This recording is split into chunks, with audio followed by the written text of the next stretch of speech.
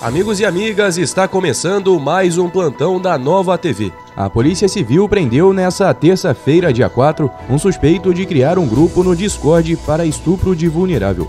Essa é a segunda fase da Operação Dark Room, que acontece em Cachoeiras de Macacu e Teresópolis. Foram cumpridos mandados de busca e apreensão em ambos os municípios. Pedro Ricardo Conceição da Rocha, de 19 anos, era o criador e administrador do principal servidor da plataforma, onde os crimes eram cometidos. Ele usava o nickname King, que significa rei em inglês.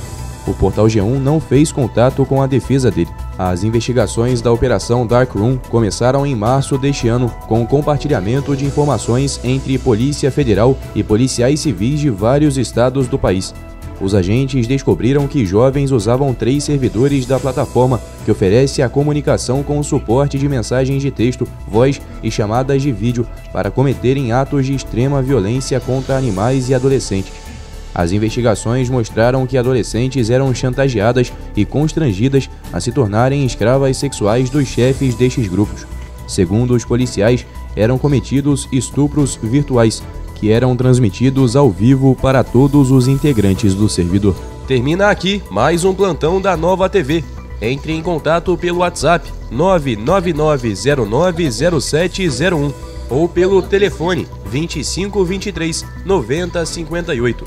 Para mais informações, acesse e se inscreva no nosso canal no YouTube, Nova TV Friburgo.